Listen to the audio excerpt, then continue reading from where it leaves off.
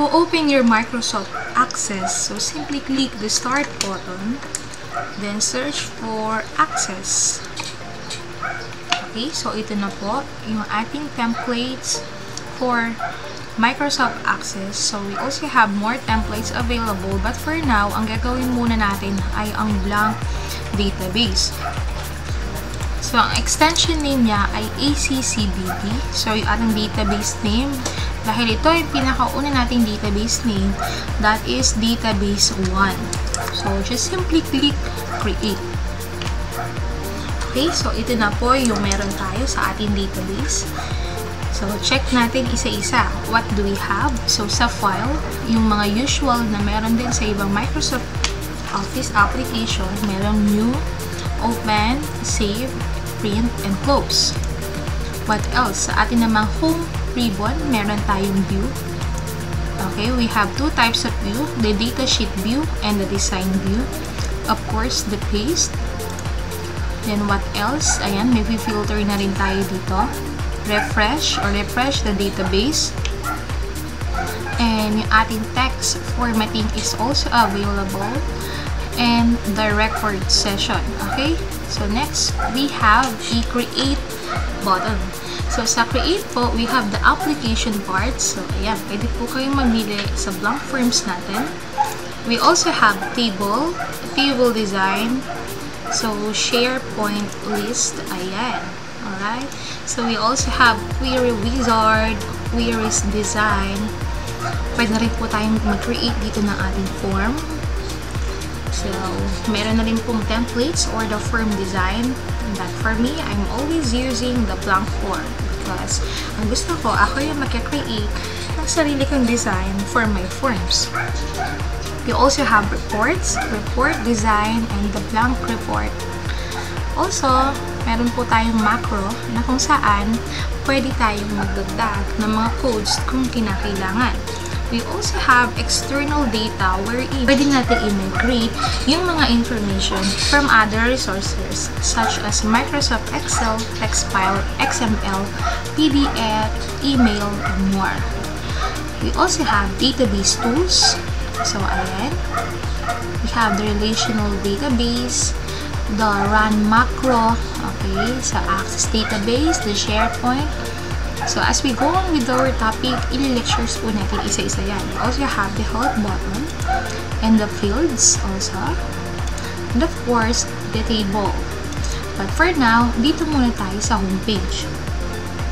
As of now, meron po tayo ditong table 1 by default. Okay? So, let's check. Doon po tayo muna mag-umpisa sa design view. Again, paano magpunta sa design view? I-click po ang home, view, then design view. So, what will be the name of your first table?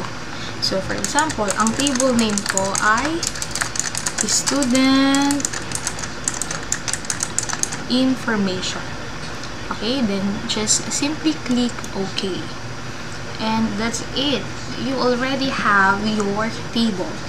But today, we were going to create our field name and provide the data type of each field. So, ayan, meron na tayong ID. So, let's say ito ay student ID. Also, after ng student ID is the last name.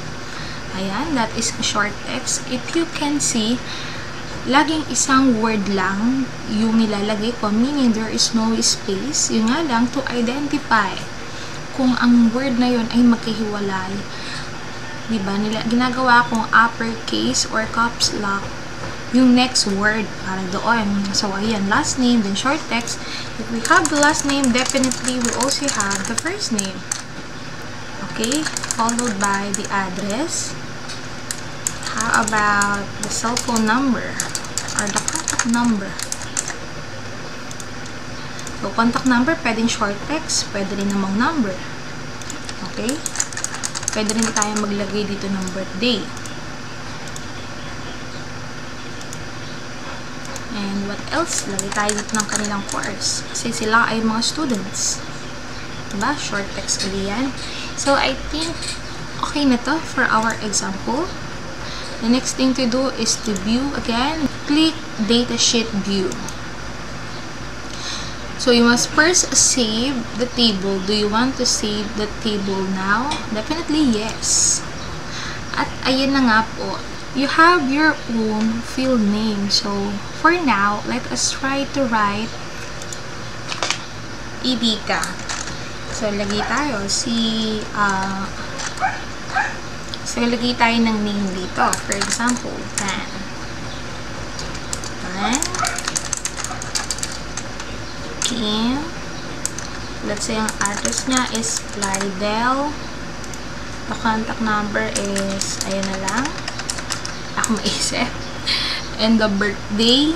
Okay, sample na natin. Ayan. And the course is, let's say, BS Ed. Okay, then next line na po tayo. As you can see, yung student ID is automatic po yung malalagyan. So, last name ulit. Ito naman ay Santos. Marisol. Galiwa. Lagay tayo totoong number. Alright. So, ayan. Ito birthday niya. Siya naman ay BSIT. Okay, maglalagay ulit tayo ng panibago dito. Lagay ko na nga si ano to? Abdon.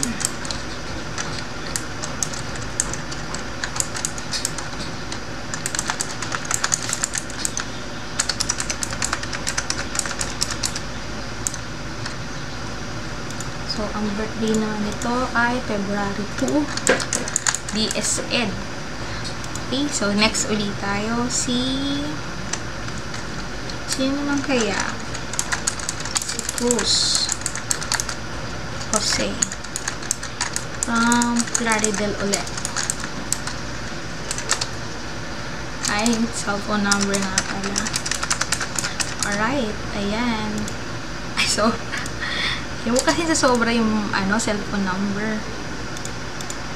Ayan. So, let's say siya ay BSIP.